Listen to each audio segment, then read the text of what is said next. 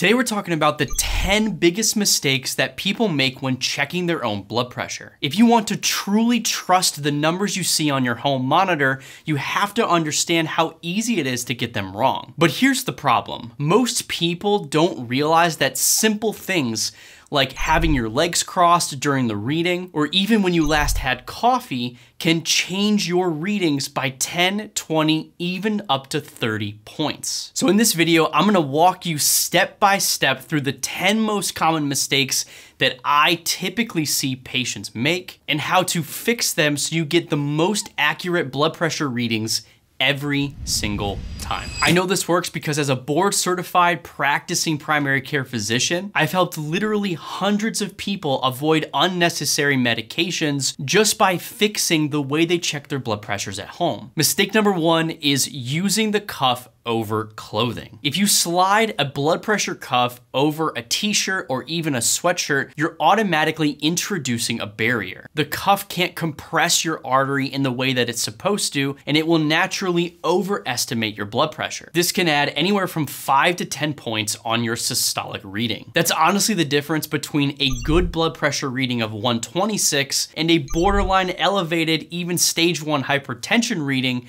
of 136. The quick fix to this is to always use your blood pressure cuff on bare skin. Roll up your sleeves or pick a short sleeve shirt so you don't even have to deal with them. So we started off with an easy one and the second one on this list, I'm literally going to the thing that is probably my biggest pet peeve when it comes to blood pressure monitoring. If you only take one thing away from this video, it is to throw away all your wrist cuffs and replace them with upper arm cuffs. Because wrist cuffs measure blood pressure that's lower down the arm, it's harder for the machine to actually pick up heartbeats which is how automatic blood pressure monitors get you the readings that they do. And this one's a biggie because it can falsely elevate your systolic blood pressure by up to 20 points. Now, wrist cuffs do kind of ballpark your blood pressure. So if it says your blood pressure is 200 over 100, your regular blood pressure probably isn't 120 over 80. But nevertheless, they tend to be extremely inaccurate. I know they're convenient and all, but honestly, if you want the most accurate numbers possible, you really should invest in a good, high quality upper arm cuff. Now, if you're looking to get the best and most affordable blood pressure cuff on Amazon, because let's be honest, there's a lot of them out there that aren't. I put a link in the description of my favorite one and the one that I personally recommend to all my patients. Mistake number three is measuring your blood pressure while not having your arm at heart level. If your arm is hanging down while you're taking your blood pressure, gravity is increasing the blood flow to the distal part or the part furthest away from your arm into your wrist and hands. This gravitational pull will artificially raise your readings about seven points. The quick fix to this is to rest your arm on a pillow or on an armrest of a chair, making sure that the cuff placement is about at the middle of your chest. Mistake number four is the wrong cuff size. Imagine trying to wear shoes that are way too small for you or even way too big. So if your blood pressure cuff is too small, this will artificially raise your blood pressure numbers. If your cuff is too big, and this will artificially lower your numbers. The quick fix to this to make sure that your cuff actually fits you properly is that you wanna be able to get about two to three fingers under the edge of the cuff on your upper arm. Mistake number five is not adequately resting before you check your blood pressure. This one is actually very important and oftentimes overlooked. The definition of high blood pressure or hypertension is blood pressure that is elevated at rest. You're not supposed to measure your blood pressure after you've ran around your house three times chasing after your dog because of course, in that instance, your blood pressure will be high. In fact, it is a normal physiologic response for blood pressures to be elevated during increased physical activity because the point is for the body to get more oxygen to the organs that need them. This one poses a lot of issues in doctors' offices in general because let's be honest, how many times have you gone to the doctor and it's up three different flights of stairs, you're running late, you get there, you're all frantic, and then You try to make your way back, they sit you down and take your blood pressure immediately.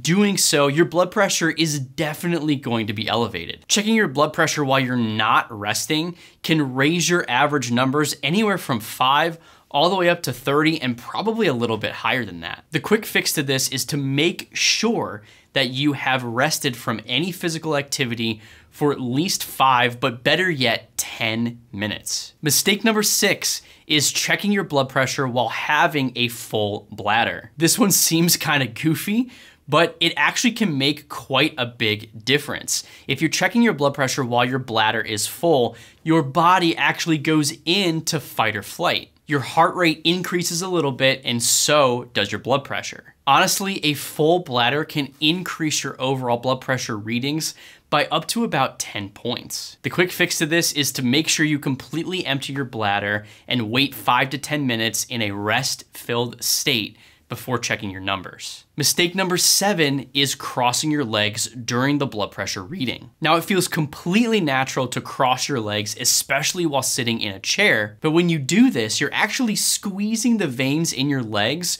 which increases blood flow to the heart ultimately raising your blood pressure. Doing this can increase your numbers by up to 10 points. The quick fix to this is to simply uncross your legs, but you want to sit upright with both feet flat on the floor. Mistake number eight, and yes, that rhymes, is checking your blood pressure after having coffee or nicotine. If you've had a cup of coffee or if you're a smoker and have had a cigarette, your blood vessels naturally constrict and your pressure goes up. This can falsely raise blood pressure by about 10 points. The quick fix to this is to wait at least one hour from your last cup of coffee and your last cigarette before you check your pressures. Mistake number nine is talking during your reading. Let's be honest, we as clinicians, we've all done this at some point. You're checking the patient's blood pressure and while the cuff is inflating, you look at them and say, so what uh, brings you in today? Honestly, even casual conversations while you're checking your blood pressure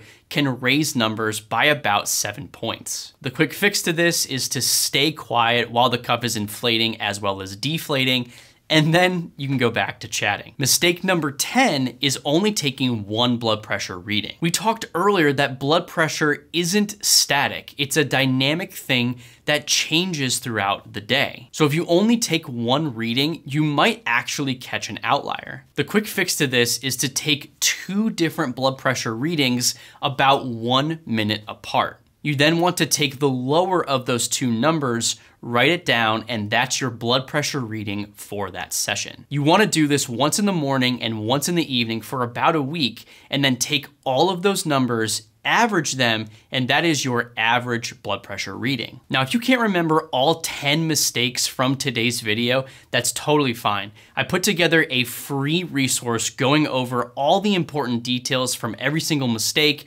and how to actually check your blood pressure to get the most accurate readings possible, and you can check out that resource completely for free in the link below. Measuring blood pressure accurately is extremely important, but how do you know which number, the top or the bottom, to actually focus on? I cover which of those two numbers are more dangerous in a previous video right here, and it's a great next step to take to truly understand your blood pressure numbers.